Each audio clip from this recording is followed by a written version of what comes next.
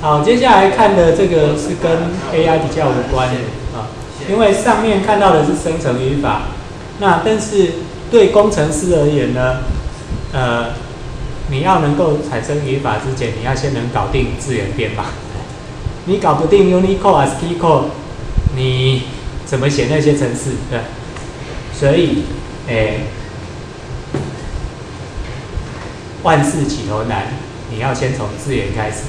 那资源在工程上永远都是个问题，但是在科学上永远都不是个问题。哎，不过资源上面也有一个很有很有意思的东西。哎，各位知道有一颗石头，它解决了历史上面很大的一个问题。有一颗石头，是一个碑文，那个碑文同时记载了。三种文字，后来那三个语言，其中有两个不认识的，就靠这颗石头解掉。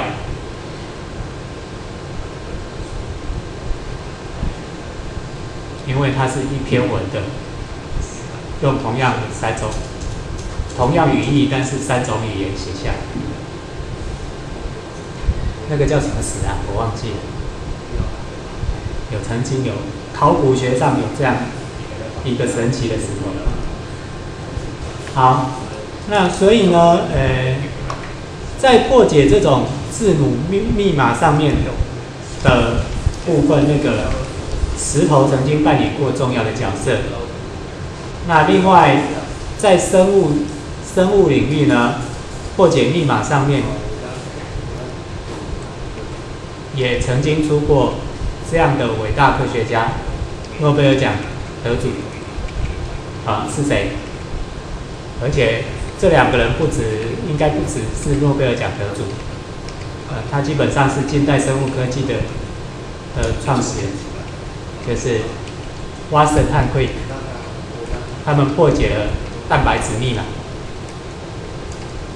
然后了解了 DNA 的双螺旋和结构，啊，克里克后来又破解蛋白质密码，所以。这两个人，呃，把那张表做出来，哪一种 DNA 序列三个字的对应到哪一种蛋白质，可以把它做出来。OK，好，OK，那这里，呃，我们没有那么复杂，不像不需要破解啊，但是我们只要制定就好，因为电脑只有零与一，你到底要用几个 bit？代表一个字，那这个一直还是个问题，对不对？各位知道，ASCII 码是用八个 bit 代表一个字，所以呢，它最多只能够，其实 ASCII 最早是用七个 bit，OK，所以它其实只有用零到一二七的部分，啊，一二八到二五没有用到，后来呢，因为我们不知道为什么用了 byte 为单位。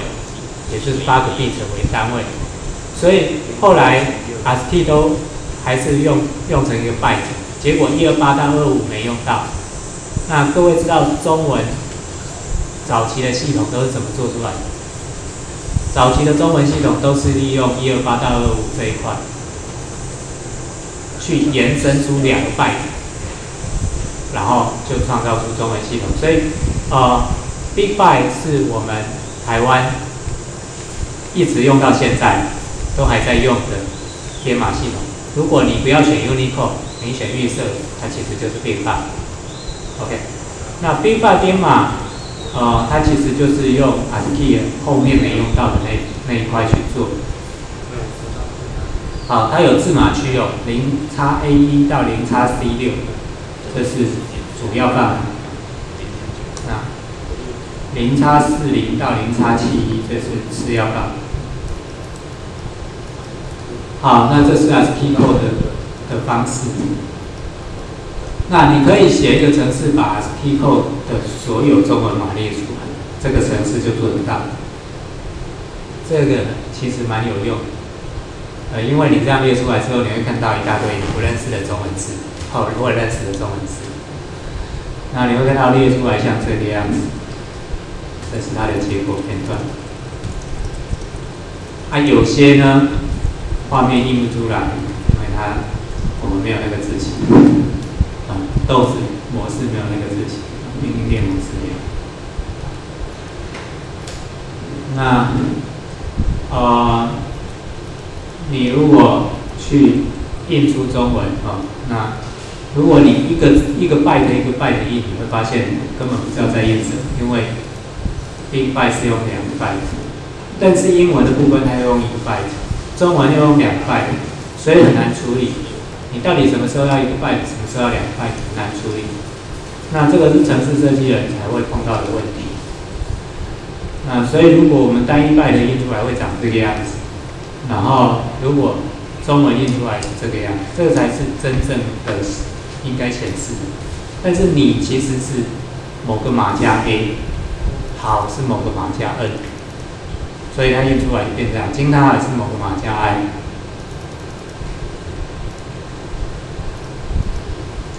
好，那所以这种这种 single byte 的方式一直很难用，所以后来就发展出两个 byte。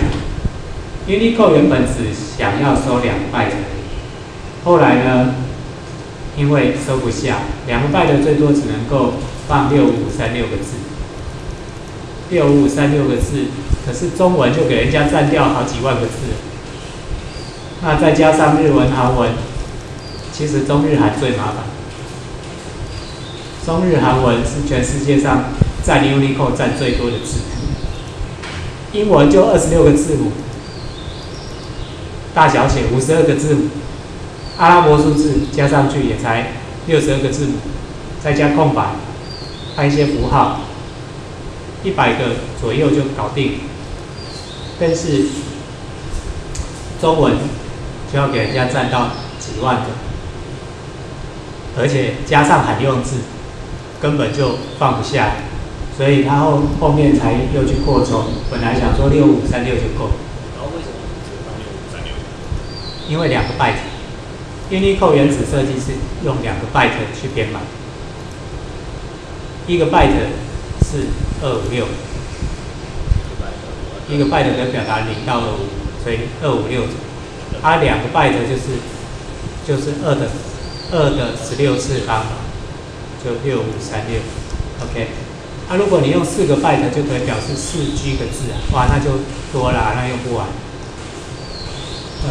所以像 Unicode 其实有，啊，原本预设是用两 byte，后来因为涵盖不下，所以它其实有用扩充区，它把某一区拿来做扩充区，而且它有固定的编码规则，所以就有 UTF 八、UTF 十六、UTF 三二。好，所以 Unicode 啊，它其实后来。为了要处理这种这种一直扩充的问题，所以它把字符集，就是那个字形，跟那个编码分开。那编码就有所谓的 UTF 八、UTF 十六，OK，啊，那所以 UTF 八就是英文区用一个 byte，然后然后其他码用两个 byte 以上。那 UTF 十六呢，就就其实它还有分 L 一和 B 一啊，Big Endian 和 Little Endian 啊两个不一样，所以后来他们把这种编码跟字形分开。那这里其实 C 语言是可以处理 Unicode，只是一般人不会去处理。呃，C 语言要处理 Unicode，你要用。本来是 S T R C D Y S T R L E N，通通都改成 W C S L E N W C S C D Y，啊，而且你要引用引用 local image，啊啊，去去设定一些做一些设定，好，所以呃，这是我们用 Unicode 的的写。印出来的东西在 C 语言里面，但在像 Java 或 JavaScript 其实 Unicode 不太是问题，对，因为因为 C 语言其实是比较低阶，的他说拜的就拜的，Java 根本就，哎、，Java 是有拜的，但是它的资源本身就是 Unicode，啊，那 C Sharp 也是资源本身就是 Unicode，后来的语言几乎都内建 Unicode，除了 Ruby 以外，啊，Ruby 坚持不要用 Unicode，因为他觉得 code 永远都不完，所以他是用转的方式转成 bystream，转成 bystream 来做。他有用一个叫鬼车的系统，火车是日本一个，应该是一个蛮著名的资源的处理的。的一个还是库。好，那这是 NBS to WCS，这是把把那个把那个一般的 byte string 转成 Unicode 的方式。好，那 WCS 就是把 Unicode 再转为 NBS，转为一般的字串表示。好，那这个啊，就是如果你今天在 C 语言里面要用 Unicode 的话，请就是 STRLEN 要改成 WCS 语言，OK，啊，但是其实不见得这样做很好，所以也有人很反对用 WCS 这种方式，因为他们觉得有更好的方式。好，那但是你如果用高阶语言，就通常 Unicode 那一件就不需要管。那这里有是做一个简繁简繁体互转的程式哦，其实不难，你只要有简繁体对照表就可以。啊，那把简繁体对照表弄下来，我们这边有一个啊，有载入一个简繁体对照表，然后呢，把字一个一个转过去，这个是 P 五 S 啊繁简对照的，然后。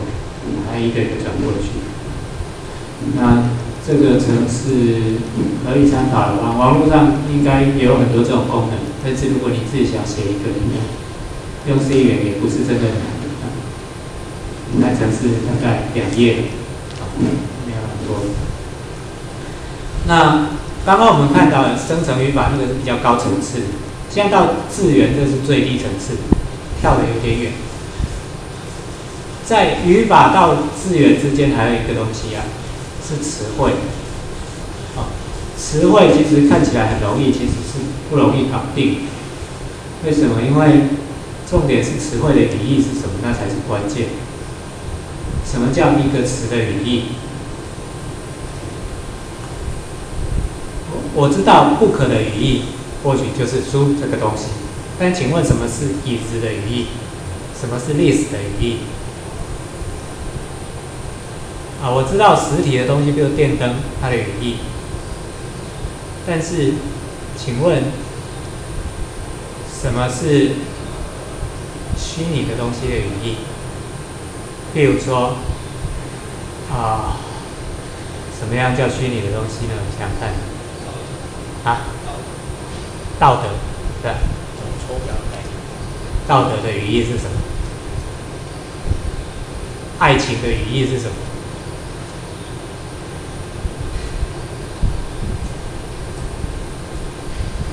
很难描述，对吧？但是即使是实体的东西的语义是什么都有问题。譬如说，我说电灯，好，电灯的语义是什么？电灯只是两个字，但是真正对应到的是我们现实生活上看到的那些会发光的那些照明的东西。但是每个电灯都长得不一样啊，有些是球状。有些是管状，还有占有实体空间。它是个集合，一定要列举出来吗？但是列举不完了。先把它包含在不一定要列。包包成什么？像一个呃，只要把符合他条件都包进去就好。符合他条件，对，那什么叫符合他条件？你能列举出电灯语义的条件是什么？啊，不行啊，那那会扯到它里面通电的语义。是啊，所以其实很难，对不对？那什么叫电子？你不了解电子，你又怎么能了解电灯？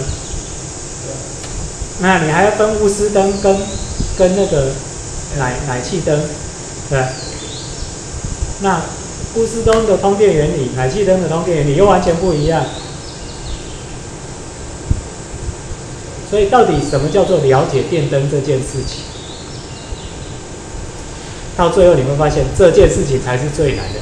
自然语言里面从来都没有办法处理的，就是这个事。但如果他了解这个事，我们就会觉得他真正了解。但是从来没有人有办法处理这这个事情，因为这个事情牵涉到全世界的知识，而且这个知识呢，你你还不能够只在抽象空间操作，你还能得在实体空间有办法操作才行。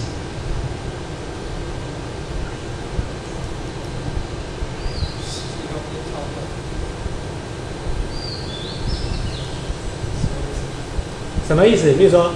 我今天讲一个句话给电脑，把那个电灯，那个电灯坏掉了，把它给修了。这个电脑就要去理解，假假设它有机械手背，那什么叫做给它修了？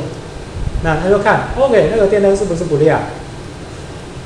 所以还有眼睛，对不对？还有手去夹住那个电灯，到底是启动器坏掉还是那个灯管坏掉？他要去判断哪一个电脑能做到这种事，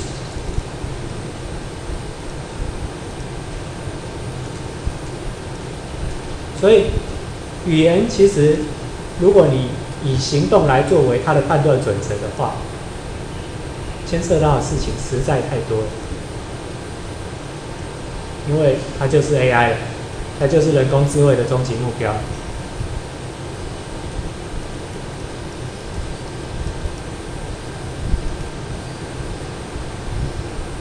所以，到底什么是语义？这一件事情在自然语言处处理里面根本就没有解答。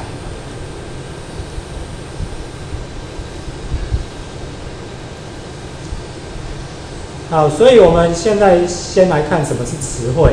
词汇，我们现在只看到的是词汇的表象，也就是那个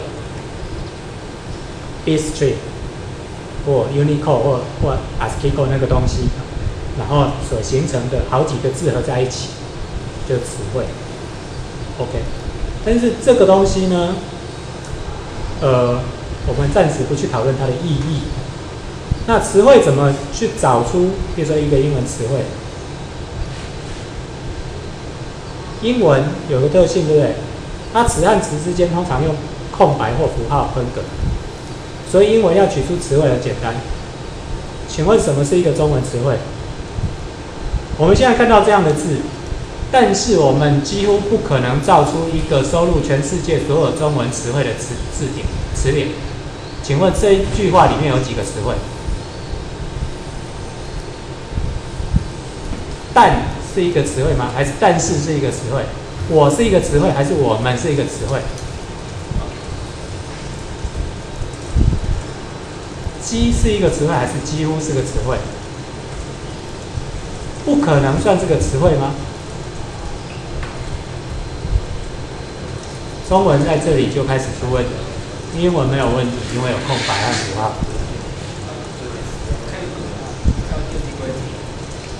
建立规则怎么建呢？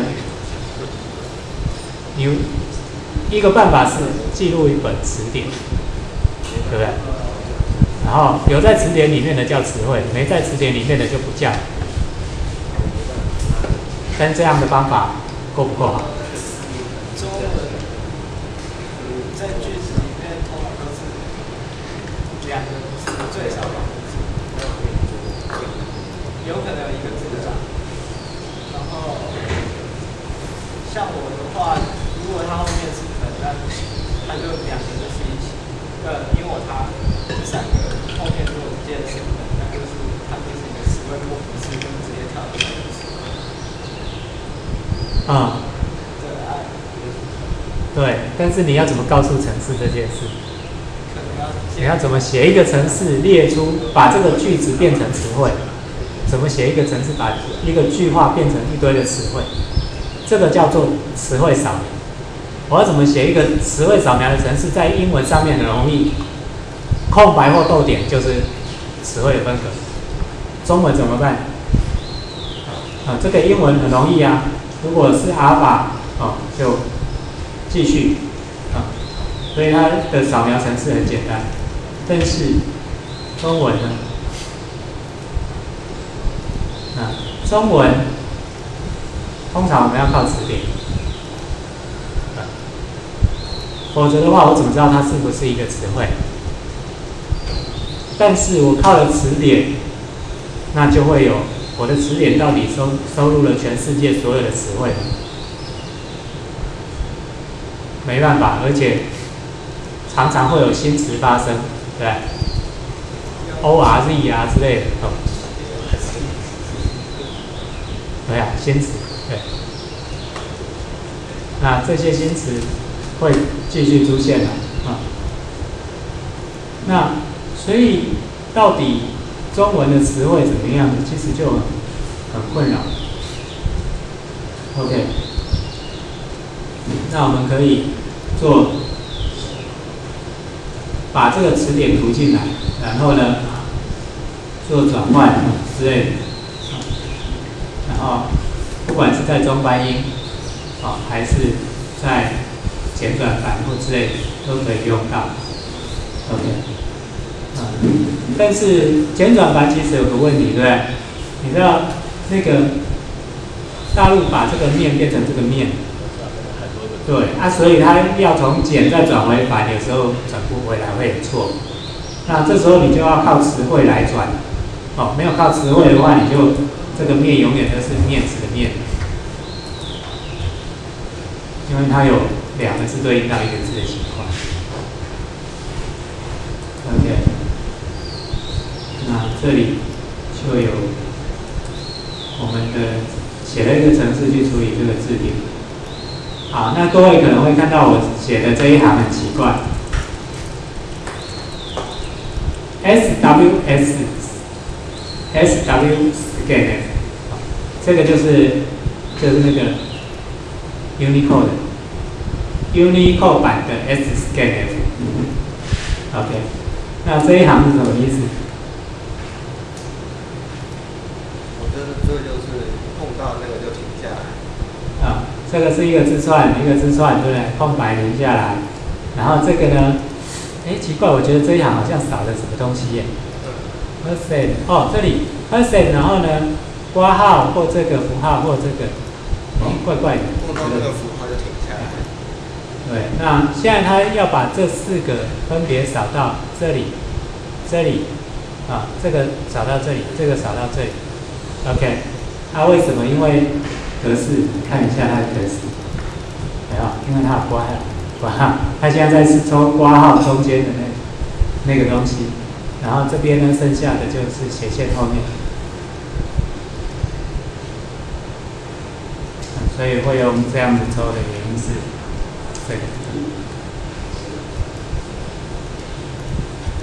好，那中文的词汇扫描，我们要断词，断词就有个问题。这里黄妈妈爱吃牛肉拉面，好，问题来了，黄妈妈爱吃牛肉拉面到底是几个词啊？妈妈是个词，黄妈妈算不算个词？爱是个词，爱吃算不算个词？牛肉是个词，牛肉拉算不算一个词？应该不算。牛肉拉面算不算个词？可能算。到底该怎么怎么断词？你可以极度的每个字都是一个词，那就这样断。你也可以用最长的黄妈妈爱吃牛肉拉面。一般来讲，我们会觉得最长比较好。对吧？因为光是牛肉拉面，你没有办法对应到那一个东西，但是牛肉拉面你就可以对应到那一个概念。OK，啊，这个称为长时优先。啊，如果要评判好坏，我们会认为时越长越好。这个长时优先法则是在中文处理上面一个。几乎大家都用，但是大家都不会特别把它讲出来的东西。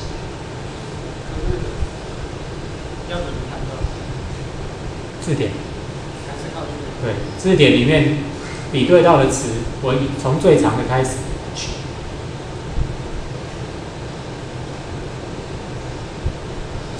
那怎么做？很简单啦、我现在知道王妈妈爱吃牛肉拉面，对不对？我现在呢，就先从假设中文词最长六个字哈，好，最长六个字，我就黄妈妈爱吃牛，有这个字典里面有这个词吗？没有。黄妈妈爱吃，字典有这个词吗？没有。黄妈妈爱，字典有这个词吗？没有。黄妈妈，假如字典有黄妈妈就找到，假如字典没有黄妈妈，那他最后就是只找到黄。然后呢，但是字典会有妈妈，所以就会变成黄妈妈。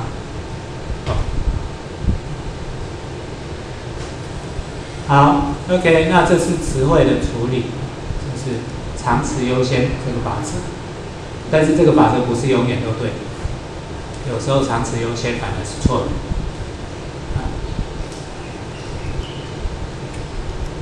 举个例子，什么什么时候长词优先会错？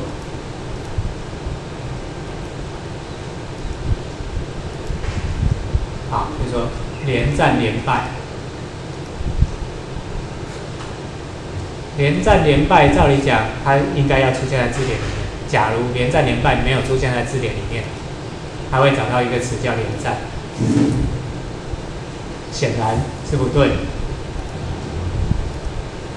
它应该干脆分成连战连败就好。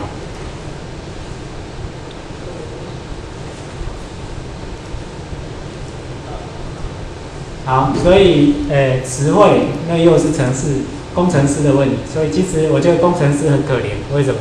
工程师永远要去处理那个现实世界里面会发生，但是那个那个叫什么定律？墨菲定律。对，我觉得工程师往往永远都在搞墨菲定律的问题，对。因为你做一件事情，总是会一直有错，一直有错，一直有错，你就一直去改，一直去改，一直去改。老师建字典档跟建规则表个比较感觉？就哪个会比较？呃，字典档一定要建，因为不是所有的词都可以用规则处理，但是规则表也需要。那规则表谁比较难？看你建的量哪一个比较大。字典档比较容易建，因为你只要照着打就好。但是规则表的话呢，你要想这算不算是一个规则？那什么叫规则？你就要有词类的概念。什么叫数字？什么叫？就把词做分类。那如果要建，不是要去把中中文的那个语法全部都在左边？对，但是你也可以建得很简单，像英文的语法，我可以建得很简单，但是也可以建得很复杂。那网络上有很多词典，像刚刚这这个就是一个网络词典。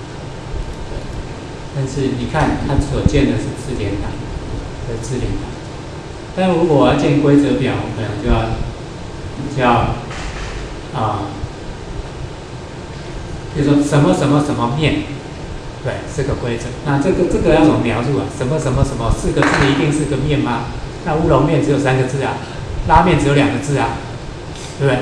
所以你要怎么建这种规则，有时候拿捏不好拿捏。从前面往后判断。从前面往后判断，对。如果你觉得它可能是一个词，那它就是一个词；如果不是，就直接跳到下一个词。对。那这是一个法则，当然一定有例外。对。哎，一定会有错的情况，但是没办法，我们自然语言里面有太多，没办法用百分之百精确的规则描述。老师，你做过那个吗？有啊，我在中医院当过两年的研究助理，我们那一组那个就是跟着许文年老师做，基本上他是那个那个自然输入法的呃发明人，那我们后来都在做自然语言处理，但是都没有成功。只有自然输入法是一个可以变产品的东西，真正自然语言处理的部分其实都只能够做学术讨论，或者是成学术学术的那个研究层次，但是要做到商品化的层次是有困难的。机器翻译系统现在 Google 做那样是商品化，但是不够好。同样，我们也面临面对到同样的问题，很难，难上加难。好，所以产生比较容易。刚刚我们看过论论文产生器，对？但是火系就比较不容易。火系是倒过来了，就是产生是我从语法开始，一路变成文章，对，这个其实比较容易。但是呢，我要从文章变成语法。或文章变成一棵树，火系树不容易。那所以这边我们来看语法剖析，这里是一个剖析器，我写的很简单的一个剖析器。那 OK，我输入我输入啊，怎么样？这程式上。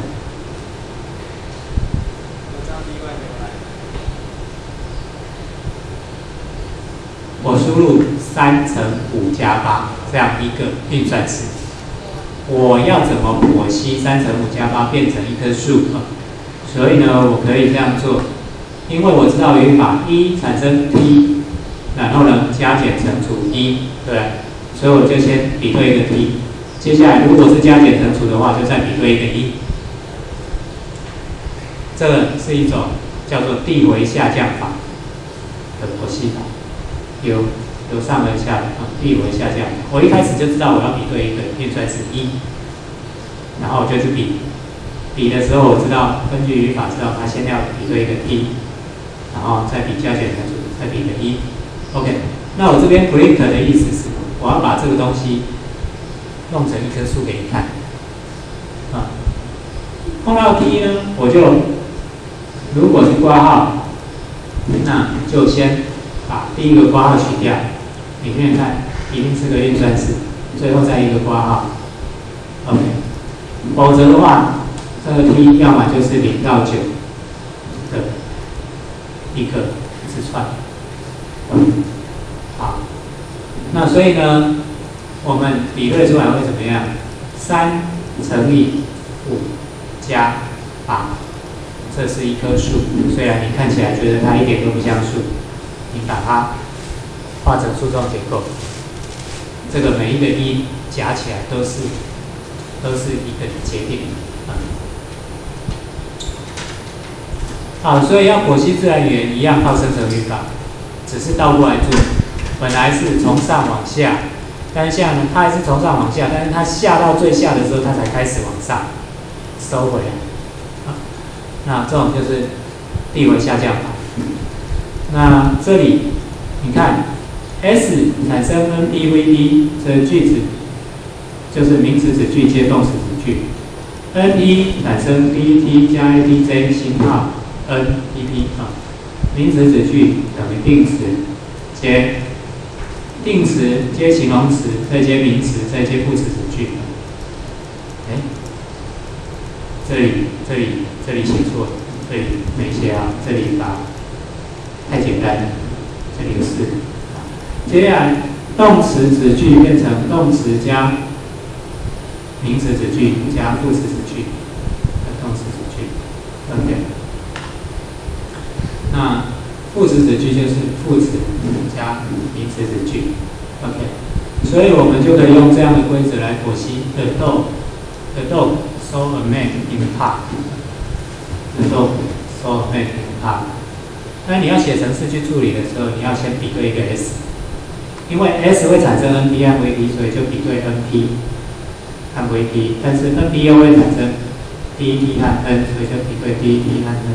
OK，最后就这样子比出来。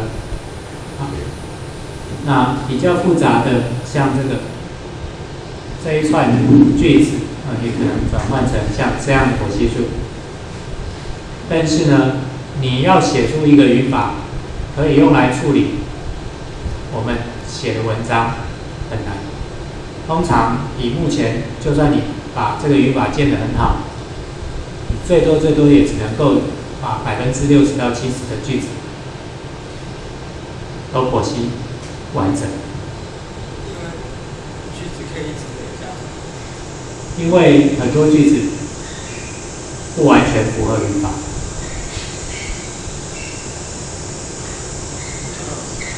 很多句子其实是语义导向，中文更是如此。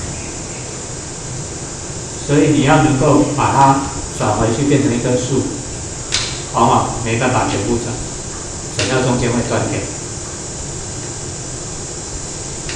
OK，所以我们这边看到，我们可以用来剖析英文。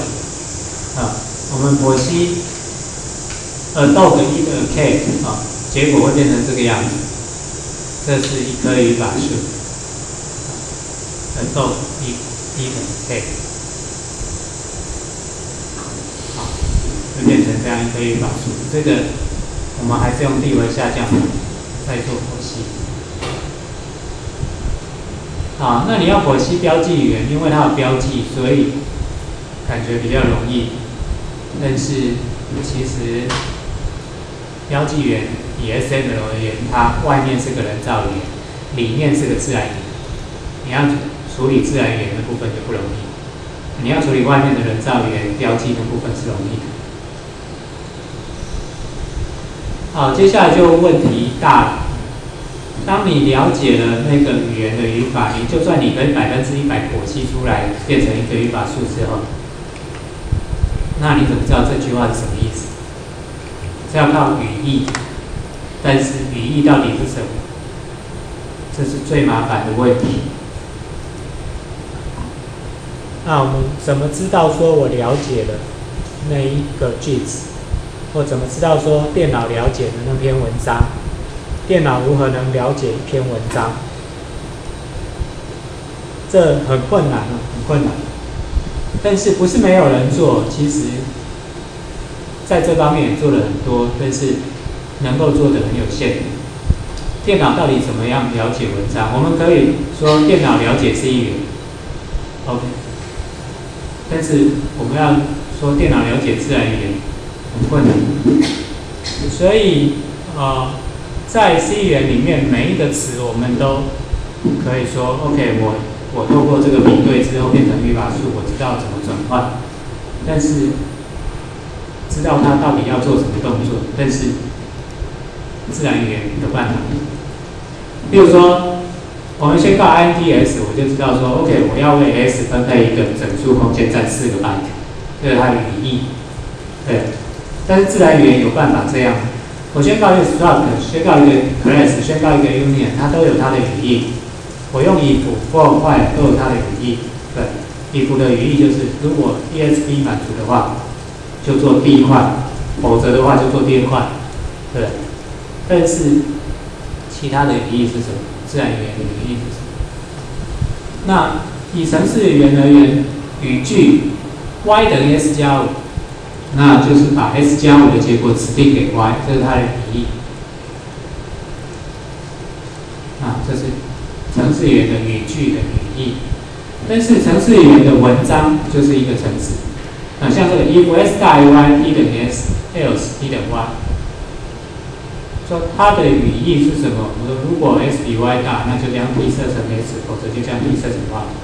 OK，我们可以，然后把它翻成组合语言，哦，得到同样的意义的东西。好，所以其实。我们做的编译器是什么？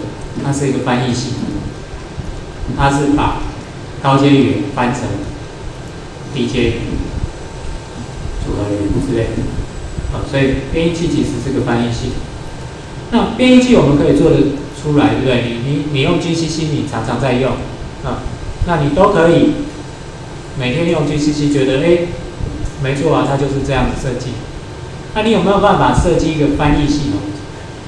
是把自然语言翻成它的语义，这里很困难，因为第一个我们不知道自然语言的语义是什么。第二个，就算我们想把英文翻成中文，我也做不到翻得很好。没办法。所以自然语言的语义到底是什么？跟程式语言有点不一样。程式语言我们都知道它的语义，我我翻得过去，我可以翻成机器或组合语。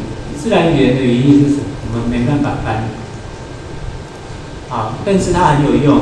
比如说机器翻译，是一个很有用的东西。如果今天机器翻译电脑可以做到很好的话，各位根本不用学英文，对。但是要怎么样才做到很好呢？呃，什么样的机器翻译系统，各位觉得做的够好？一篇文章，你把它翻完之后，变从英文翻成中文之后，至少要跟人翻的一样，对不对？跟人翻的一样好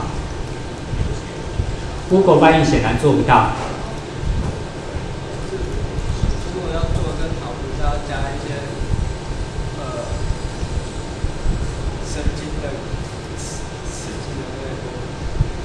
神经网络也有人用在机器翻译上，但是到目前为止都还做不是很好。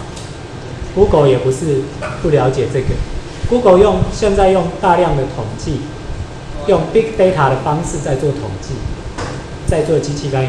他挖了一个非常强的人，那个人是做统计机器翻译的一个一个经典人物，直接把他挖到 Google 公司里面去做。给他很高的薪水，但是也只能够做到现在的 Google 翻译那样，上不去，上不去。就算那个人在统计翻译做得很好，也只能如此。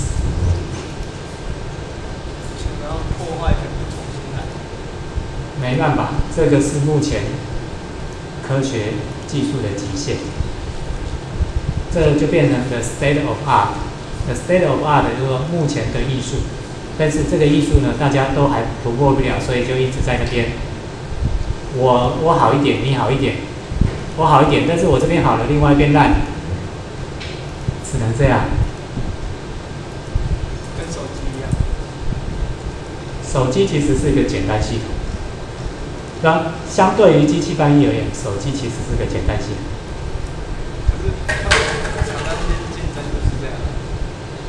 对，但是他们是在比如说速度啊、效能啊、使用亲切度啊之类的，在这种方面竞争。但是机器翻译是在品质上面竞争，就是说你翻译可以翻得过去，但是翻完看不懂。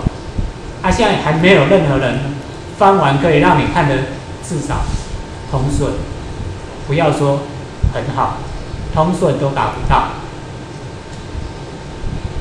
把英英文翻成中文之后，通顺都达不到，因为有些你根本就觉得它翻译是胡扯。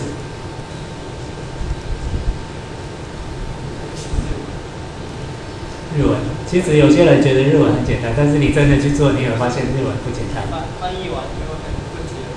对，日文日文有一些很奇特的地方，也。那所以自然语言的语义到底是什么？很麻烦，这件事情是是自然语言处理的核心，但是没有人说得清楚。所以呢，我们稍微看一下，没我也说不清楚啊，但是我稍微尽量说一下，一个句子的意义是什么？一个句子的意义是什么？其实。我们很难讲，但是呢，不代表我们什么事都不能做来。有一种叫做格状语法，但这个语法完全跳脱了语法的概念，它其实是语义，以语义为导向的语法，跟之前的 S 等于 NP 加 VP 那个完全不一样。那个是生成语法，这个是格状语法。格状语法是以意义为导向而设计的语法。所以它全部都围绕着意义在打转。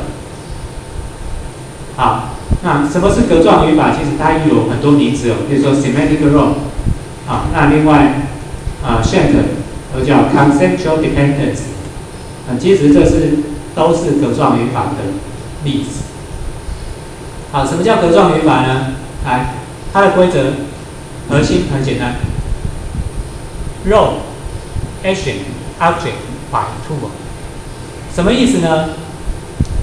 角色会对某个物体做动作，用某种工具，这是它最核心的一个四元组。好，那说爸爸用榔头敲钉子，这个句子如果经过理解之后呢，它就会变成 action 是敲，roll 是爸爸，object 是钉子，tool 是榔头。如果我可以建出这样的结构，那我们说 OK，那我大致也了解你在说什么。对。你问他说，以这句话，你可以问他很多问题。你说谁敲了钉子？他会回答你爸爸。说爸爸对钉子做了什么？他会回答你敲。说爸爸敲了什么？他会回答你钉子。爸爸用什么敲钉子？他会回答你榔头。感觉好像了解，对。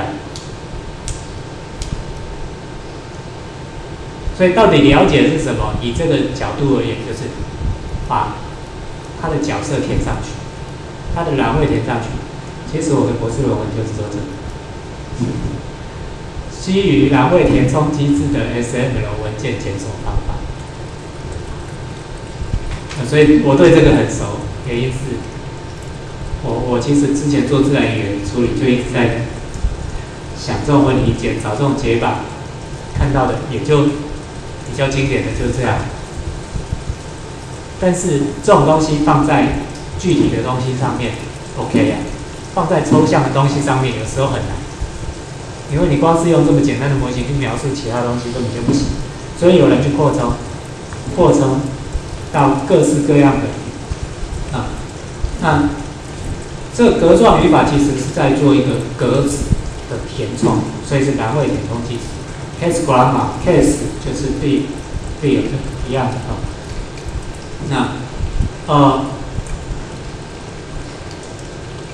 语法规则说，肉动物，动物，动物有牙齿，所以它会咬，会咬，咬其他动物或东西，啊，用什么咬？用牙齿，好，所以我们就可以建立一个规则。如果我们不满足于刚刚那种规则，因为，因为刚刚那种规则，爸爸敲钉子看起来都很合理。但是如果你今天说窗帘敲钉子，一点都不合理，因为窗帘没有手，它不会敲啊。所以你要进一步的再去细分的话，你会发现说，那动物会咬东西，因为它有牙齿。OK，这样就进一步的去细分。好，那这里你看到一只一个句子说，那只狗咬了穿红色衣服的女人，牙齿血淋淋的。这时候呢，我们再再用。这种栏位填充机制或格状语法，在处理这个句子的时候，你就会把狗填到 animal 这一个动物的栏位，啊，你会把人填到 people 啊，people 又是一个 object 啊，也也是一个 animal，OK，所以就可以填在这个 object 上面。然后，所以那只狗咬了穿。红衣服的女人啊，那人是一个 people，是一个 animal，所以所以就符合这一个。OK，牙齿血淋淋的，所以当我看这句话的时候，我把这三个元素抓出来，我差不多就了解它。它讲的是狗咬人事件。那至于是是哪个狗？是那只狗。哪个人是穿红衣服的女人？OK，好，所以当你展示出栏位的时候，就会发现，OK，这样子差不多有点样子，它抓到了其中一些意思。好，那填充的结果就是这样，填充的结果。那他会说，那只狗用什么咬那个女人？应该是牙齿吧，因为以这一个规则而言，兔我是牙齿，虽然他没有讲牙齿，但是。以这一个规则而言，我们可以猜测，他还是用牙齿，他不会用榔头咬女人，或剪刀咬女人。对。好，同样的，啊，我们如果可以搭配语法，那就可以把这个语法和语义给合并起来。你就会知道说，OK，穿红色衣服的女人，这是一个 NP，是一个名词子句。那这个名词子句代表说她是个人，而且是个女人，而且穿红色衣服啊。从语法上面又可以再进一步再去再去再加上这种男位填充机制，再去把人、女、红色填进去。OK，红衣服。好，所以呢，如果你今天问电脑那只狗咬了谁啊，电脑就有可能回答穿红色衣服的人。谁咬了穿红衣服的女人？电脑就回答是那只狗啊。甚至你问那只狗用什么咬的女人，它会说应该是用牙齿，虽然他没见过。这样感觉是不是有点临近？但是这种层次的理解在语句上面，而且对于实体的通常比较有效，对概念的通常不太有效。啊，比如说我写了一篇文章，谈论有关于捷运杀人事件的事情，这句话你要怎么理解啊？人会写文章，OK，对文章有主题，主题，呃。谈论是说文章主题的一个词啊，你慢慢去填，还是可以填得出来啊，但是不容易哦，因为那个规则库需要很大。好，但是即使这样哦，在语句层次这样子，那有些超越语句的层次，超越语句的层次，我怎么理解它？这会是个问题。什么叫超越语句的层次呢？啊我们来看，有很多叫。就是 Shank 他们提出一个叫剧本的东西啊，Shank 和 Nelson 他们呃在一九七七年的时候一本书专门写了一本书哦，在讨论自然语言，他做自然语言很久，他说 Script 就是剧本，Plan 计划，Goal 目标和 Understanding 理解。那这本书我之前在中文院的时候借来看，啊，我觉得。它在这个语义上面其实还蛮不错用，啊，而且也是少数可以用的方法之一了，啊，其他的方法全都很难抓到语义。那来，什么叫剧本？结婚这个概念会有一个剧本，什么剧本？男人爱一个女人，男人跟女人交往，男人跟女人结婚，男人跟女人交配，女人生了小孩。小孩长大，然后外遇，外遇又是另外一个剧本。男人呢，又爱了另外一个女人，或跟她做交配，然后呢，女人发现这件事情，男人跟女人离婚，这是个剧本，对这种剧本在我们的现实生活每天都在上演。最近两天好像是什么？那个，那个，诶。不不是弯弯的，是哦弯弯的，对对对，哎，好像就符合这个剧本，对，好，而且它不太符合的地方是好像刚结婚，啊，那所以你会看到，OK，这种剧本有没有用？在电脑里要怎么用？好，我们真的拿它来用用看啊。这是我自己创造的一篇文章，当然我其实是照这个这个剧本写。约翰和玛丽是大学同班同学，在大三的时候，约翰爱上了玛丽。毕业后，他们就结婚了，而且生了一个小男孩麦克。约翰毕业后进入一家大公司工作，由于表现良好，被拔擢为经理。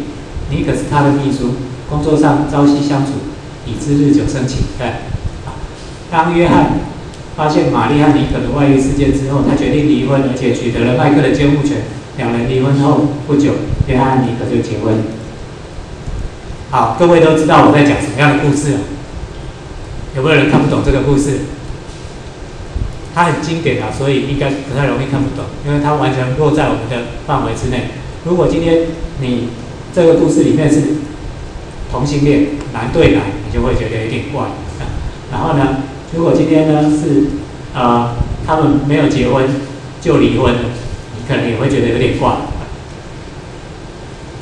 好，所以如果我们用上述的那个剧本来比对这个文章，那这个剧本，请注意看剧本哦。男人爱女人，男人女人交往，男人女人结婚，男人女人交配，女人生小孩，有没有？这些都是剧本的一部分。那我们就可以把文章给标了。怎么标？约翰和玛丽是大学同班同学，在大三的时候，约翰，约翰是个男人，对不对？爱上了玛丽，玛丽是个女人。毕业后，他们，他们是指谁？男人和女人，对不对？就结婚了，所以是男人跟女人结婚的那一个桥段啊。OK。并且生了一个小男孩麦克，小男孩麦克是个小孩，所以生那谁生？一定是女人生，所以你猜都知道是玛丽生，不会是约翰生，对吧？老师怎么第一那个名词是男的还是女？就在那个名词上面标男女，就给名词属性。哎，每一个名词你就把它当成一个物件。那个物件里面呢，有它的属性。可是问题是，有女生取男生名字啊？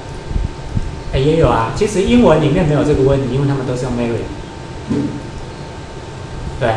嗯。啊，他们没有取汉嫁，他们只有 Mary。对啊。OK，那中文就有取汉嫁的问题。那如果你写反的人，懂中文的人就会觉得很奇怪，老外可能不觉得。比如说，他说玛丽娶了约翰，懂中文的人会觉得奇怪，但是用英文的人会觉得正常啊。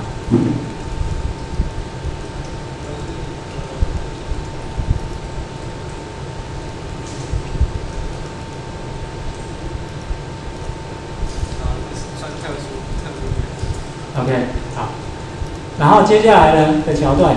约翰毕业后进入一家大公司工作，我们没有公司的场景，所以没有没有这个剧本。但如果你加上公司的场景，你可以可以加上，比如说公司里面有经理、有秘书啊，那经理通常是男生，秘书通常是女生或之类的，哎，然后所以你你可以这样子做哈。那妮可是女生对啊，所以呢，这里只有一句话我们比对得到，就是约翰男人，妮可女人，日久生情。啊，这个日久生情呢，如果你比较厉害，你就可以知道说，他其实是爱，对，OK，男人又爱上女人，所以是日久生情，男人女人爱，OK。那当玛丽发现约翰和尼可的外遇啊，所以男人女人外遇了啊，爱产生外遇，对不对啊？外遇，然后呢，她这个女士的她，所以女人。决定离婚，所以是尼可决定离，哎，不是尼可，玛丽决定离婚啊。然后呢，并且取得了麦克，麦克就是他的小孩啊，啊，麦克的监护权。然后两人离婚后不久，约翰和尼可就结婚了。所以透过这样的剧本的填充机制，我们有可能让电脑抓到这一个整段文章的某些意义。你有越多的剧本，它就能够抓到越多的意义。好，所以呢，我们这本书什么都要实做，所以我就真的来实做。好，怎么做呢？我都化简，因为要写一个包含无所不包的系统，在这里实在太。我们都只用几个词。这边我想想比对一下，爸爸用榔头敲钉子，猫吃鱼。这种东西，所以呢，我就先有一个字典：爸爸敲钉子，榔头用猫吃鱼。好，这些词啊，最后用 no 代表说没有了，字典结束。然后呢，is list 敲是 knock，爸爸是 people 啊，钉子是 object，榔头是 hammer，猫是 animal，吃是 eat。鱼是 food，是一种食物，鱼也是一种 animal。OK，好，所以呢，接下来我有 case case 长怎么样呢？Animal eat food，animal 会吃食物，对，动物会吃食物，对啊，很合理。人会敲东西，工具是榔头，是不是也合理？那我这里写英文，通通都是词类、语义的意思。OK。他写的中文通通都是我们要处理的句子内容，所以当我呼叫 semantics 爸爸用榔头敲钉子的时候呢，他会给出什么？people 爸爸 knock 敲，他卷钉子 h a m m，这样我们就抓到它的意义。同样的，猫吃鱼的时候就猫啊，猫鱼都是那种 eat 吃不等于，但为什么猫吃鱼会变成猫和鱼都可能吃鱼了？因为这里有鱼嘛，鱼也可能吃鱼啊。那如果你不不去按照顺序的话，它是有可能讲鱼吃鱼之间的。啊就说今天他讲鱼吃鱼，哎，那应该也要合吧？对不对？食人鱼吃了另外一条鱼，合理。OK，所以暂时不去过滤的话，就会产生这样的结果。那这边就我们写成是啊，先断词，你要把语句先断成词汇，对，然后呢，去找出那个词，找出那个词，然后开始填充这个 case field，开始填充。然后呢，如果栏位一个一个规则里面，如果可以填到，比如说它有四个栏位，我可以填到三个，那就不错了。四个都填满，那应该是很确定。OK，那如果只填到两个，可能就不够好啊。所以根据你填到的数量，我就可以给他一个分数。那最后我把分数最高的丢出来给你说，这就是我了解的结果。OK 吗？啊，所以这里在做 case field 的时候，就是在填栏位，栏位；在做 case best 的时候，就是在找最好的规则是哪一个。然后 case break 就把整个比对到的栏位结果印出来。然后 pair find 是在找那个配对，就是什么叫 pair find？因为有这个嘛，敲那。猫猫吃鱼，然后鱼鱼吃鱼，所以电脑可能还是不了解到底是猫吃鱼还是鱼吃鱼。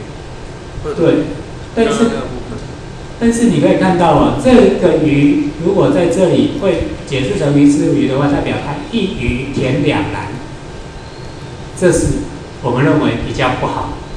你可以加一个规则说，OK，一个东西填到两格里面，那分数不要加那么高。但是两个东西填到两格里面，那分数就加比较高。那如果你这样加的话，你就会发现猫吃鱼比较合理，鱼吃鱼不合理。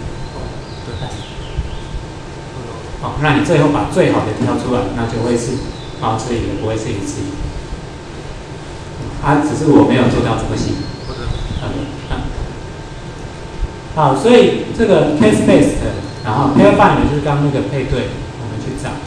然后 semantics 我做的事情就是第一断词，第二个印出断词，第三个用 case grammar 去比对，找出最好的比对填充。好，接下来呢，把那些比对最好的部分填进去，印出来，结束。好，所以呢，我们就找到，就会印出这样的结果。爸爸，people 爸爸，那个敲。object 钉子 hammer 呃，或者是 animal，这里两个都填，因为我没有做那种一一个填两个算比较少分，结果这两个都一样多分数，通通丢出来。OK，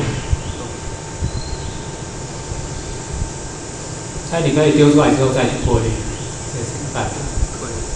那刚刚看到的这个是句子层次，啊，句子层次的。语义用栏位填充去去解读的方式，剧本层次的我们也写了例子，所以我这边写一个 squid C，这个 squid 是这样：约翰和玛丽是大学同班同学，在大三时候约翰上了玛丽就是刚刚那一篇啊，然后毕业后他们就结婚了啊，并且生了一个小孩迈克。约翰毕业后进入一家。大公司工作，由于表现良好，被拔作为经理。尼可是他的秘书。由于工作上朝夕申请，约翰尼可日久生情。OK，啊，当玛丽和约翰发现发现约翰和尼可的外遇事件啊，然后他决定离婚，并且取得了麦克监护权。两人离婚后不久，约翰尼克就结婚了。你可以看到我们我们做了什么？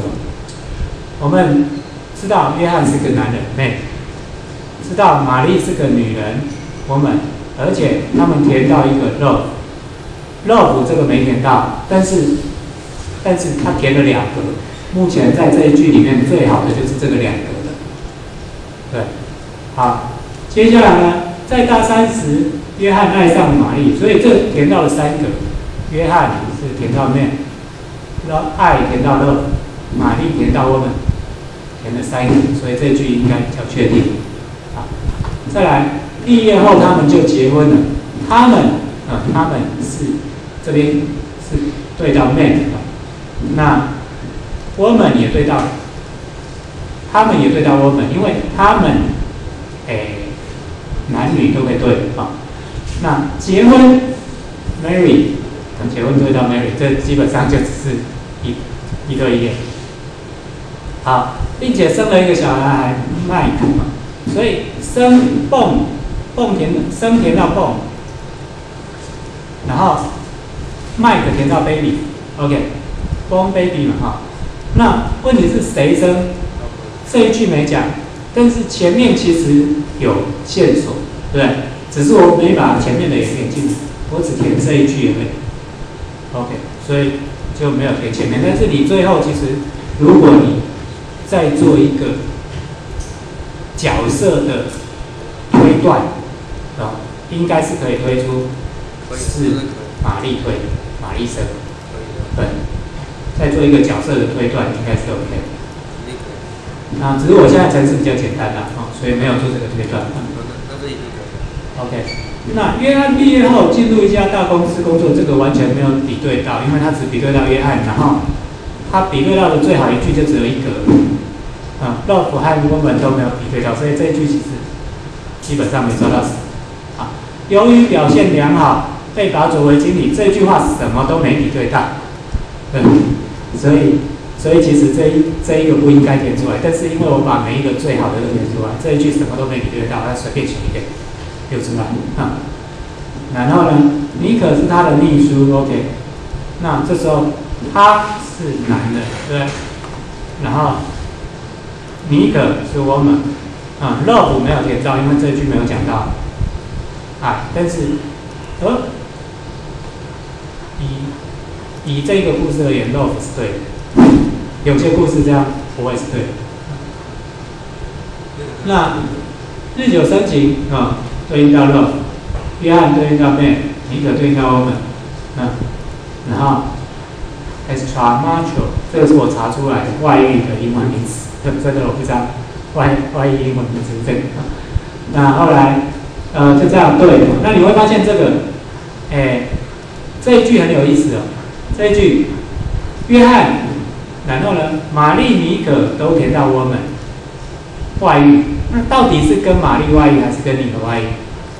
如果你在前面看到玛丽已经和约翰结婚了，就不可能是外遇，对，和自己老婆外遇，这不叫外遇啊，对，嗯，所以玛丽应该会被删掉，只留下尼可，但是我们没有做后面的这种冲突排除动作，所以。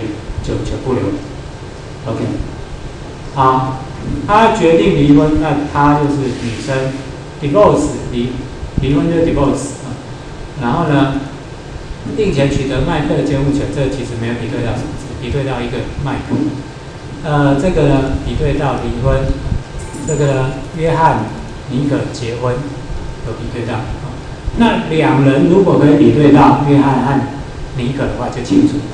啊，但是我们的层次没那么紧，他把亚汉人各算一个字，所以没比到。好，如果两人建成一个词，然后呢，让他可以比对男的，也可以比对女的，那就可以比对到。OK，所以只要加一个两人的词，然后让他可以比对男的，也可以比对女的，加上 man 的属性和 woman 的属性，就可以比对到。好，好，所以最后我们的程式。嗯，就是这样，把句子全部一句一句建起来，然后其实可以从答案读了，我没有从答案读，我直接建在程式里面。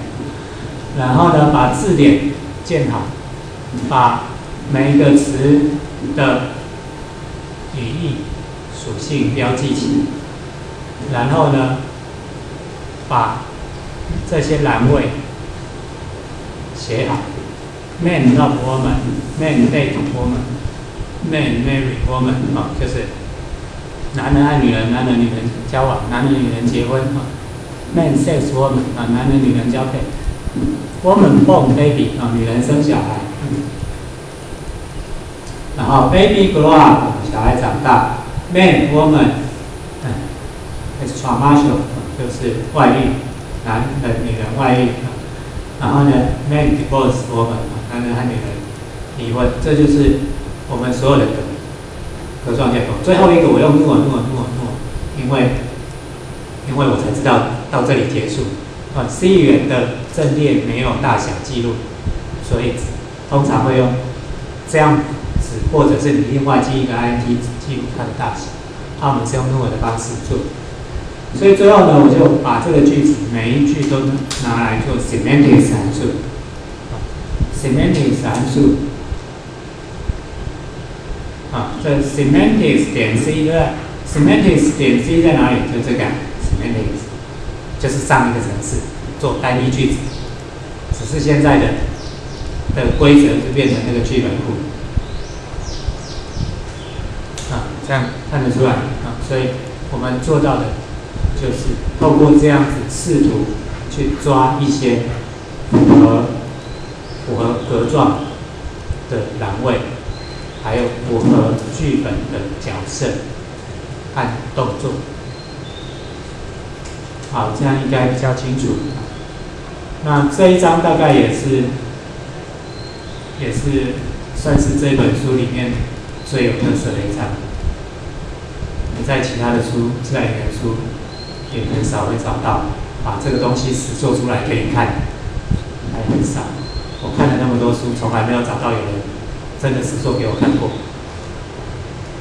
而且那个像像他们有实做，那他他们用 list，那个一九七几年的事情就没什么在做啊。好，所以那个城市我们基本上是看不懂啊。那 OK，所以呢，啊啊。我们到这一章为止，有一点 AI 的感觉，对，有一点 AI 的感觉，但是不是很强。你基本上就在做填充、填充、填充，填对了，你好像就了解它。感觉键如果键很大的话，那么电脑是真的可以理解。这一点就我这么多年的研究经验而言呢，我会有所保留。会有所保留。我会蛮有保留的，因为理解这件事情真的太难了。所以即使我们做到这样，你会觉得他好像理解，但是最后你会觉得他只不过是在填框框而已。那框框填完就真的理解了吗？这要看你所谓的理解层次。如果你今天问他问题，他不会回答。他的了解可能就是你可能问他，他就可以聊，呃，他就跟你跟你讲这个名词，可是他可能不知道这个名词的意义是什么。对啊，对啊。比如说，呃，这些框框填好了，他可以回答你问题。但是你说他真的了解什么叫外遇吗？或他真的了解什么叫结婚吗？外遇和结婚又是非常复杂的一些概念，是啊。所以他虽然能够填进框框，不代表他了解，但是他可以表现出好像了解的行为，在问答的的情况之下，他其实可以表现出好像了解的行为。这又有一点，就是说，它是一个比较深层次的 ELISA。还记得我给各位看过的那个 ELISA 系统？不是我跟他聊天，然后他就跟我聊天，然后。他会说：“哎，那你你的家人好吗？你的爸妈还好？”但是他事实上都不了解，对。但这个东西，你说他了解吗？看起来好像了解，因为他填的格子，而且他可以告诉知道说你到底现在在讲的是哪个格子，然后把那个格子抓出来给你，或问你说另外一个格子，回答你另外一个格子的问题。名词跟事件的图片又兜起来。就把图片之类的把它兜起来，也可以啊。如果你今天是用图片、影像，视窗系统之类的来写，对，或或用网络的系统来写，你可以把图片啊那些通通都放进，但是这个我觉得是浅层的理解，啊，浅层的理解，毕竟它只是把东西填到格子里面，然后可以取出你要的东西而已，但是这只是我觉得只是浅层的理解，那深层的理解，譬如说什么叫外遇，这个要真的理解，我们到现在都还不知道。我给一个外遇的剧本，就叫真的是外遇吗？也也不完全，对不对？而且外遇这件事情要要能够把它语语义表达出来，实在是有点困难。没有，如果是外遇，那就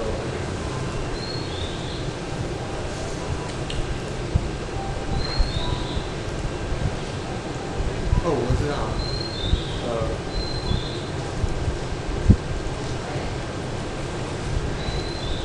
看两个以上的女人 sex，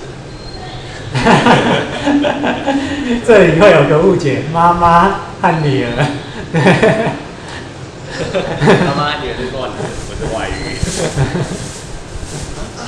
如果那个没有在一起的话，你讲的有点保守。在一起的话，其实没有外遇，在和两个以上的女人性交，嗯，啊，这可能就是外遇，对不对？但是这个外遇里面还有区分乱伦和那个，因为如果你是女对人，这个自己老婆对，所以 这故事其实很复杂。还要再细分下去。对对对，有时候会比对错。如果你刚刚讲在一起的话，那就可能比对错。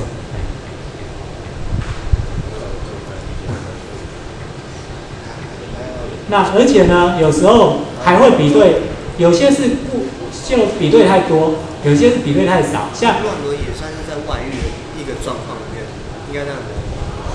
或许可以这样看，或许或许啊或许，但是也有人不这样看啊，也有人认为不是。那另外一个例子，我在讲，你说和两个以上的女人在一起就是外遇，可能不是，为什么？因为他结了两次婚，对，中间离了一次，对？那他确实和两个在一起，但是他没有离婚，没没有外遇。像罗素一辈子结了超多次婚的，对，那他他是真的有外遇，但是但是不见不见得每一个和两个以上的女人在一起都都是外遇，对，呃可能会抓错，过强或过弱都有可能。这个电脑在闹出笑话。啊、所以以这种方法来，其实我觉得它是一种比那个 Elisa 更深层一点的理解，但是还没到真的很深层的理解。那什么叫真的很深层的理解？我觉得以现在电脑是做不到，做不到。电脑没有，现在还没有所谓深层理解的这件事。真的，确实，这这这这真的不是不是那样。好，所以差不多这样，我们是不是时间到了？好，时间到了。好，那我们就